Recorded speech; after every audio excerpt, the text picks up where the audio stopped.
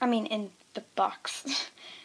She's just, there's a new purple box, uh, honestly, well, this is my first recording of a doll unboxing, even though I already have three, which isn't really, but, but I do an unboxing, so.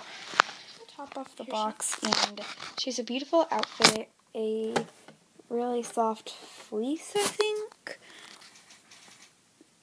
um, skirt, and it comes with a book. So I'll take her hairnet off in just a second once I un actually take her out of the box. Okay, I finally got her out of the box. It took a while, and it also took a while to get the um the charm bracelet on her. It's really cute. It's adorable. It has a bunch of little charms like her dog and a macaron and other stuff. But let's take the hairnet off and see how pretty she is with it off. Okay, okay, okay.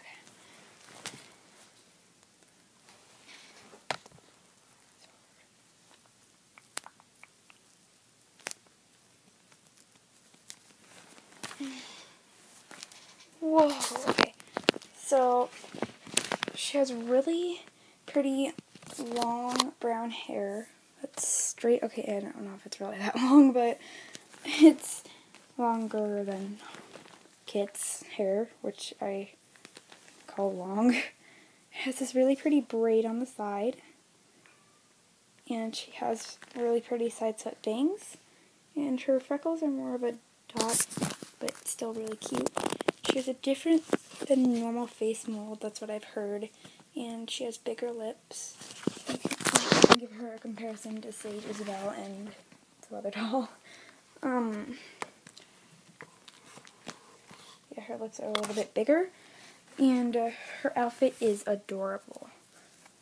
So a bow right here. And she, her shirt says Paris je t'aime, and it's adorable.